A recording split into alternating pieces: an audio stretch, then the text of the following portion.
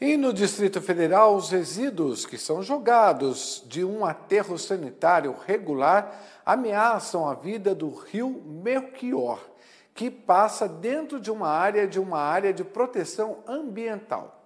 Dá uma olhada. Cachoeiras, águas cristalinas. São só algumas das belezas que encantam quem percorre o curso do rio Melchior. Mas isso só até um pedaço. Como mostram essas imagens, o chorume despejado por um aterro sanitário instalado aqui impacta a qualidade da água do rio. Para chegar até as proximidades do aterro, tomamos uma estrada de terra que, à medida em que avançamos, descortina um lugar de vales e propriedades rurais. Toda essa região aqui é uma área de relevante interesse ecológico, uma área de proteção ambiental. É o Parque Ecológico Juscelino Kubitschek. O aterro sanitário fica bem ali no meio. Ó. E o rio passa um pouco mais abaixo, onde está toda aquela mata ciliar.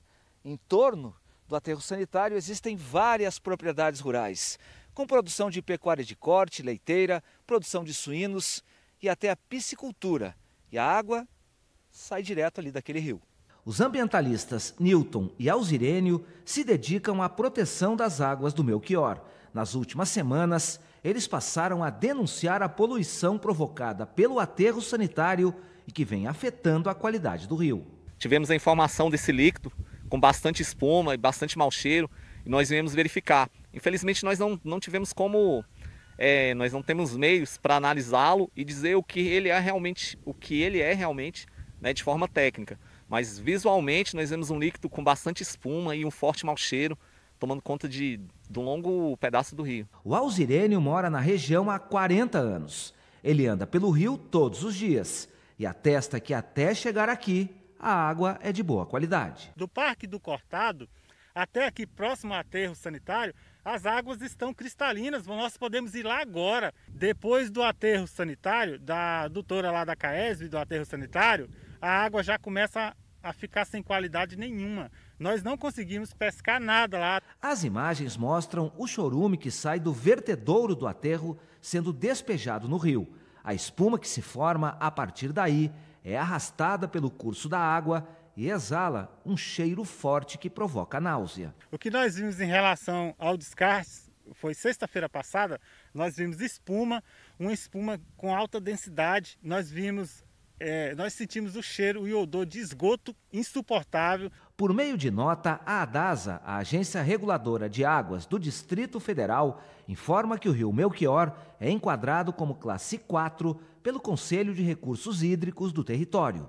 E por essa determinação, o rio não pode ser utilizado para banho e suas águas não devem ter nenhuma finalidade.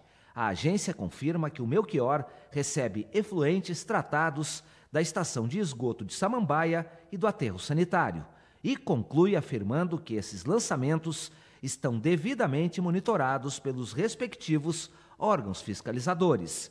Mas os ambientalistas garantem que muita gente usa o rio e afirmam que, como está, o rio será levado à morte.